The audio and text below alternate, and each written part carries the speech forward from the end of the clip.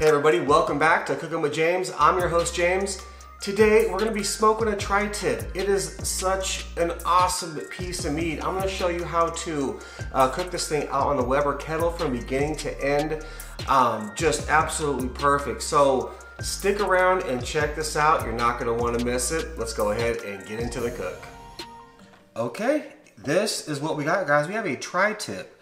Now when you get these, this is a two pound tri-tip. Um, it's usually uh, will pre-trimmed. The butcher didn't even do that good of a job, so I actually had to go in and trim a little bit more off. But anyway, sometimes when you get them, they're not trimmed. There'll be a big fat cap on the bottom, maybe a fat cap on the top. You'll have to trim a little bit, but this one was was pretty good. So, anyways, that's that's the tri-tip, and all we're gonna do is uh, season this thing up. All right. So what we're using today for our seasoning, um, it's gonna be Kosmo's Q Texas beef and this is a treat. We got Black Ops. This is the brisket rub, and this stuff is phenomenal. I really like it. It's uh, it's one of my favorite um, rubs on beef. So let's go ahead and get this thing seasoned up.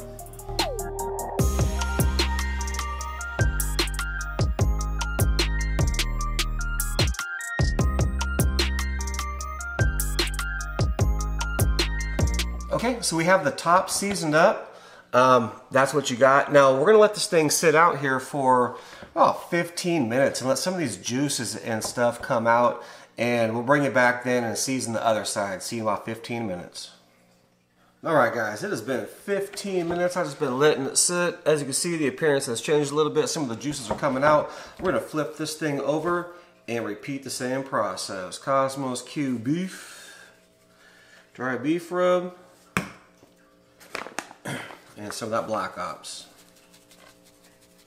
All right, now we have the other side seasoned up as well. We're gonna give that about 15 to 20 minutes. I'm gonna go show you the setup on the Weber kettle. Let's get out there.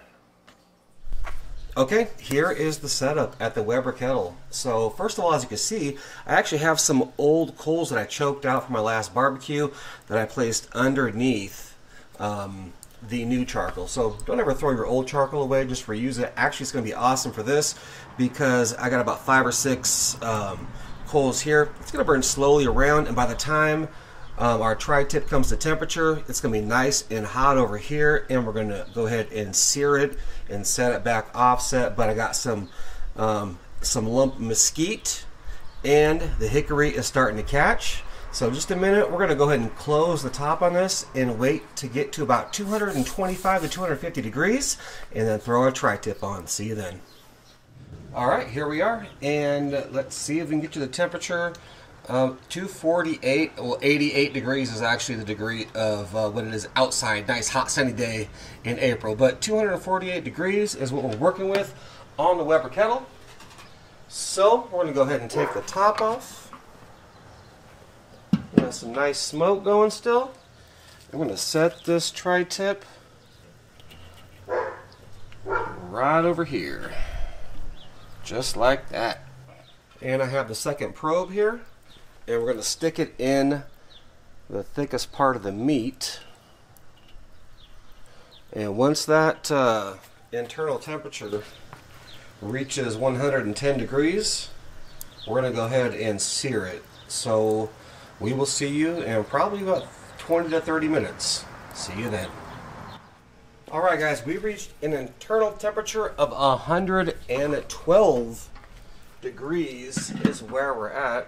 So I'm going to go ahead and take this, uh, see if you can see it here, yes, get down here, and take this probe out, set that aside, and I'm going to give this just a few minutes. I'm going to let these coals on the opposite side heat up and we're going to give this thing a nice sear. So see you in a minute.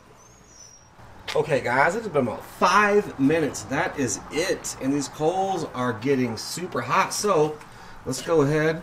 Oh, there we go. That sizzle. Get that tri-tip right over those hot coals. I'm probably going to give it about a minute or so on this side and then flip it. We'll see you in a minute. Okay guys, it's been about a minute. Let's see what we got. And oh yeah. Nice little char on that side. Perfect. I'm gonna flip this thing over. Give you a nice char on the other side. See you in a minute.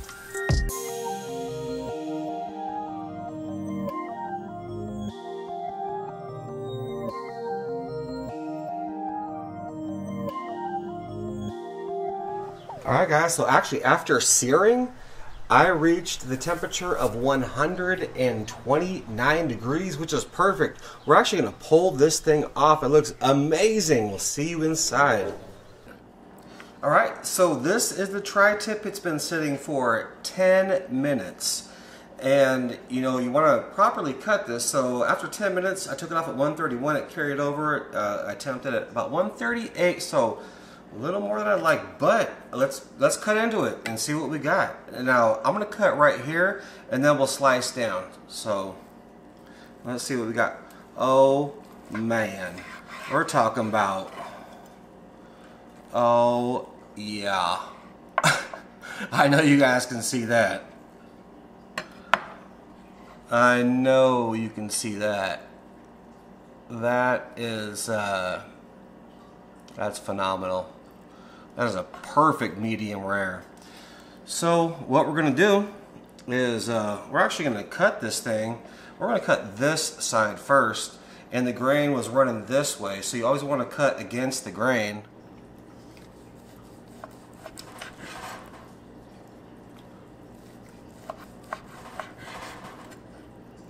And there you have it. Look at that.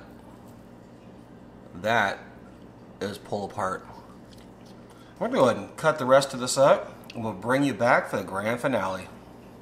Alright guys, we are finished with the cook and I'm super satisfied with what turned out. I mean, you've seen it all, but um, that's what it was. I mean, the, the strips turned out phenomenal. I mean, here it is and I didn't even try. Mmm. Mmm. That is so soft and tender. You have to try this now. You don't even have to uh, cook this on the grill.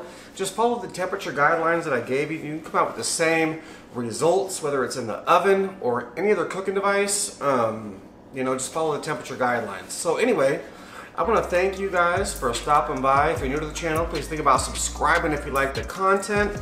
Check the description below to help the channel out. There is a link It'll take you directly to Amazon. You can buy anything you want off of Amazon and use your Prime account as well if you use this link. It just helps me out a little bit for the channel. But uh, other than that, I'm gonna enjoy the rest of this awesome tri-tip. And uh, I really appreciate it, guys. And we'll catch you on the next cook. Thanks for watching.